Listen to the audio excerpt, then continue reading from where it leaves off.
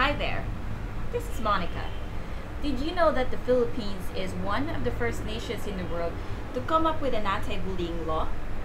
Yes, you heard it right. But what is anti-bullying law all about? Let's find out.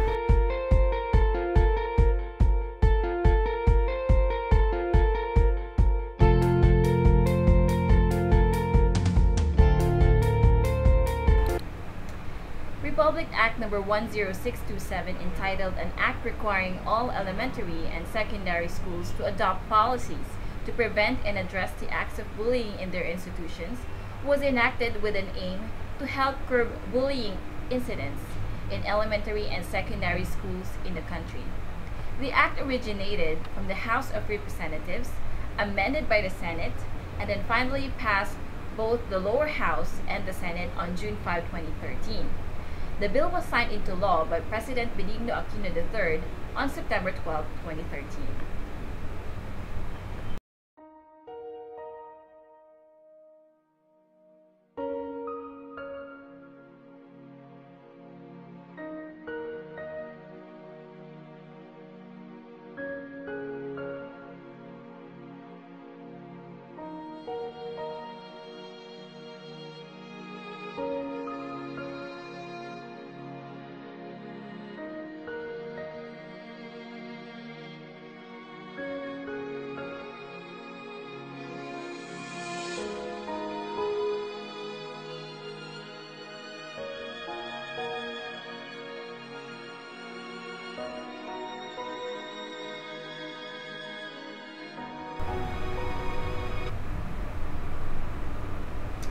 So what is bullying? Well, bullying as defined by the law is any severe or repeated use by one or more students of a written, verbal, or electronic expression, or a physical act or gesture, or any combination thereof directed at another student that has the effect of actually causing or placing the latter in reasonable fear of physical or emotional harm or damage to his property. Any act that creates a hostile environment to the student and that infringe his right at school is considered bullying. Examples of bullying are physical, punching, pushing, shoving, kicking, slapping, tickling, headlocks, inflicting school pranks, teasing, fighting in the use of available objects as weapons. Social or emotional, or any act that causes damage to a victim's psyche or emotional well-being.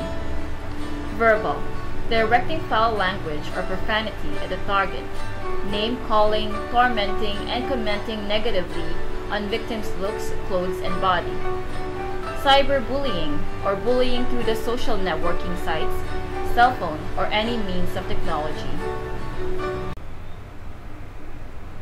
The term bullying also includes social bullying, or bullying by repetitive, aggressive social behavior intended to hurt another individual and gender-based bullying, or any act that humiliates or discriminates a person on the basis of perceived sexual identity.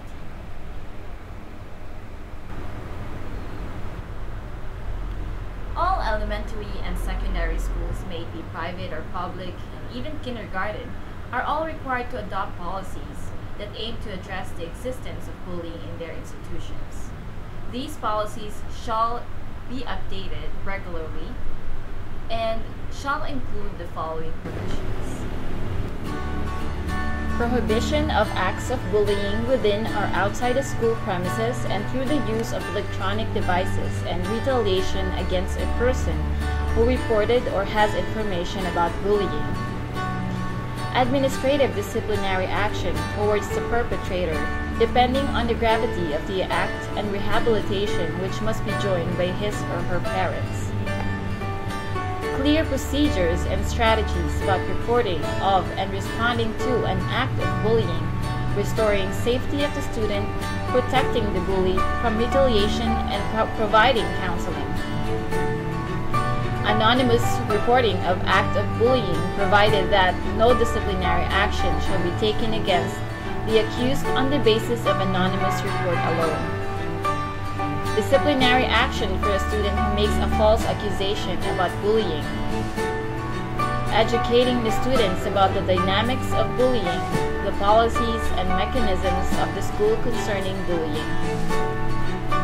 Educating the parents and guardians about the dynamics of bullying, the school policies about bullying, and how to reinforce it at home. Maintaining a public record regarding acts or incidents of bullying in school, provided that the names of parties concerned are strictly confidential.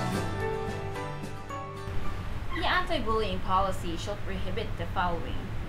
Bullying within or adjacent to school grounds, bullying in school programs or functions whether it's in or out of the school, bullying in school buses or any school vehicle, bullying in privately owned buses accredited by the school, and bullying in school bus stops. It also includes bullying through the use of any means of technology or social media and retaliation against a person who reports bullying. The anti-bullying policy also includes prevention and intervention programs that both public and private schools shall adopt. These programs aim to address the influences, factors, and effects of bullying and prevent them. The principal or designated officer shall oversee the implementation of the policies and will act as a point of contact to whom a witness of the act of bullying shall report to. The principal or designated officer is responsible for conducting an investigation and notifying the school administrator of the involved student or students who are from a different or another school upon receipt of a report of act of bullying. Once determined that an act of bullying or retaliation occurred, the principal or designated officer shall notify the law enforcement agency if the school principal or designee believes that criminal charges under the revised penal code may be pursued against the perpetrator. Take appropriate disciplinary administrative action. Notify the parents or guardians of the perpetrator and notify the parents or guardians of the victim regarding the action taken to prevent any further acts of bullying or retaliation. Both elementary and secondary schools are directed to submit a report containing statistics or other relevant information about the acts of bullying in their institutions to their respective school division superintendents. This shall be done every first week of the start of school year. The school division superintendent is expected to submit the compilation of data from these reports to DepEd, and the latter will likewise submit a compilation of the reports to Committee of Education. For non-compliance of this law, it is a DepEd secretary who shall prescribe an administrative sanction to the non-compliant school administrator, including that of private schools. In addition, the private school's permit to operate may get suspended. DepEd Secretary Armin Luistro considers Anti-Bullying Act of 2013 as the biggest achievement for the agency in 2013. In an article by Manila Bulletin, he quoted, the Philippines is one of the first nations in the world to even come up with a law on bullying, including features of cyberbullying. It is an imperfect law, and the IRR will not be able to anticipate all the problems and challenges, but I think it is a milestone. Miguel David C. Tan, the publishing editor of Outrage magazine, however, noted the apparent lack of stress on the bullying done by some schools or school administrators against the LGBT community.